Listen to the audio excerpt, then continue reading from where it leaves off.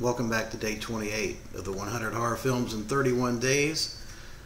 Got in four films and I crossed over the 100 mark with three days to spare. Uh, I slowed up quite a bit, but I made it. Uh, so I made it to 102 films today. I watched three films streaming. Uh, first up was 1989's Dr. Caligari, directed by a guy named Stephen Sayadian and starring a lady named Reynal. Uh, Stephen Sayadian apparently went on. He was mainly more of a production designer than a director. He had, he does have a few credits, but they're all uh, low budget type films.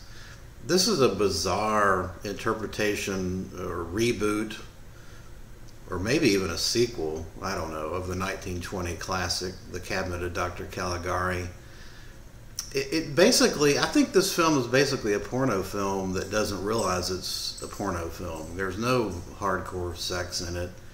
Uh, it's just a series of what I think the director was hoping to come across with as an avant garde type esoteric film.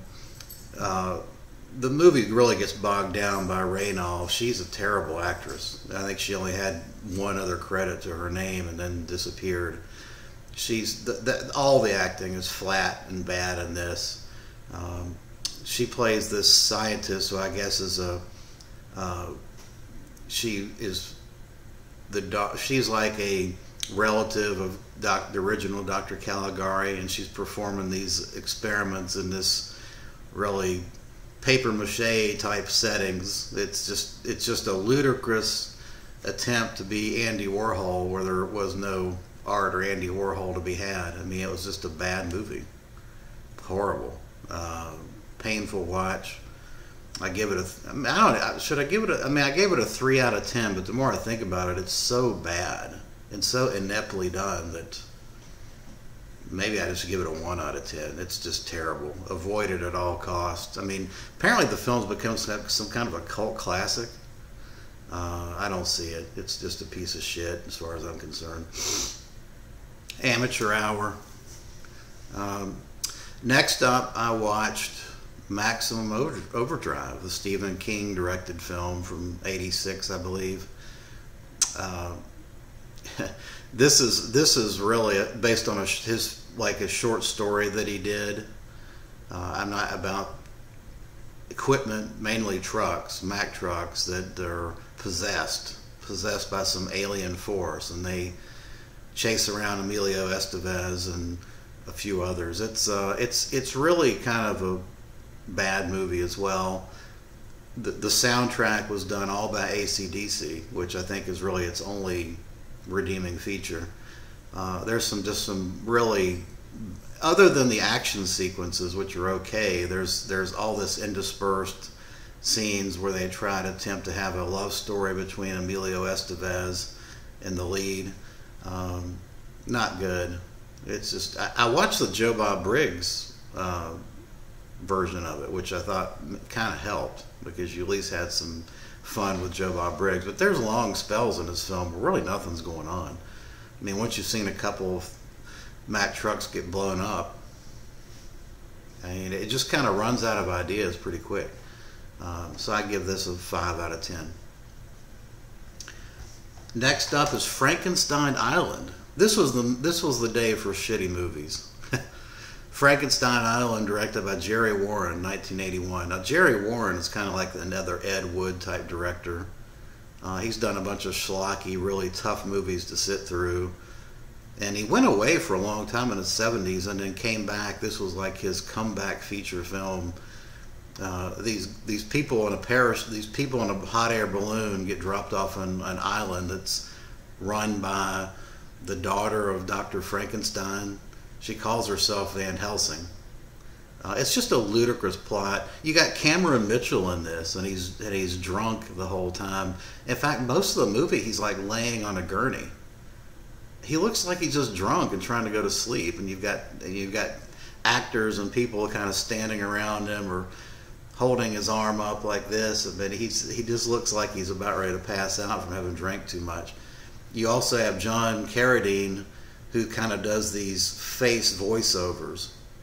I guess it, it you know, just it's just it's really ludicrous. There is a Frankenstein monster actually. I was beginning to wonder as I got to the end of this thing if there even was a Frankenstein monster in this thing, but there there is, and he kind of he kind of at the end there's this huge um, fight, for the lack of a better term, with some inept kung fu, and Frankenstein monster is kind of going around mimicking Bela Lugosi from Frankenstein meets the Wolfman it's hilarious. Uh, if you watch it on YouTube, you can watch it on YouTube, or if you really try to watch it, I would suggest kind of speeding it up from normal mode just to get through it. It's it is a tough, boring watch. I mean, you've got a lot of um, scenes of this group just kind of prowling around on what's supposed to be an island.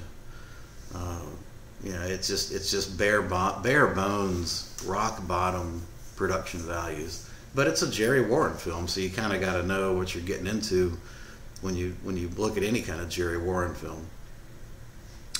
And then finally, 1981's Madhouse, which is uh, Armando Avadio Sario, the Egyptian producer who did Piranha 2, Beyond the Door 3, uh, a number of films like that.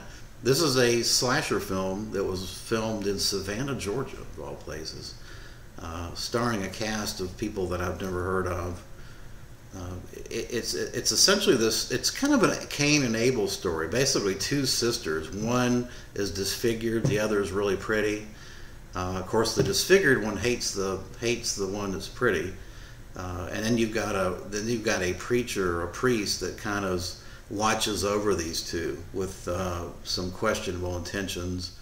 Uh, a number of kills, and you've got a you've got a Rottweiler that's the menacing Rottweiler that attacks attacks a number of people, and of course the dog attacks. It's a it's a fake dog head. There's a number of scenes with the fake dog head. In fact, the, the best scene is when you've got like a person fighting the dog, the mannequin dog, and they're stabbing the head of it through a door. It's hilarious. Uh, it's actually a decent watch. It's a fun watch. I give it a six out of ten. I'm shocked that. Um, pleasantly surprised Arrow would take a take a stab at this. This is a 2K restoration, um, and it's got an audio commentary by the Hysteria Lives. I'm sure they'll be land blasting it.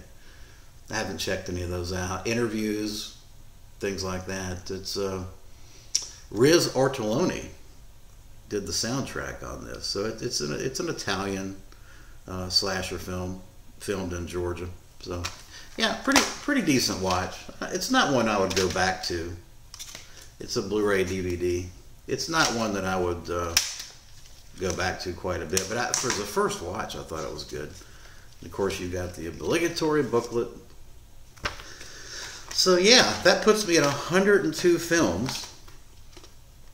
Uh, I'll probably I'm going to continue on and watch all, all the way through the 31st. There's a there's probably going to be a week gap I got some traveling to do. I'm going to watch some more films while I'm traveling, but I doubt I'll be able to film and record uh, the final three days of watching. But I am going to do that. Uh, it'll be it'll be the first week in November when I do the final three days recording. So, uh, but yeah, I'm at 102 films today, and 50 like 55 first time watches, half. Uh, that's still shocking to me. Uh, 74 of the launches were Blu-rays. I watched like 16 streaming films, and then I, of course I saw Halloween 2018 in the theater as well, uh, and about six or seven DVDs. So that kind of gives you an idea, really a context of my collection as well, because it's pretty much 80% Blu-rays now. All right, appreciate you watching, and uh, let me know your thoughts on these films I watched today. Thanks.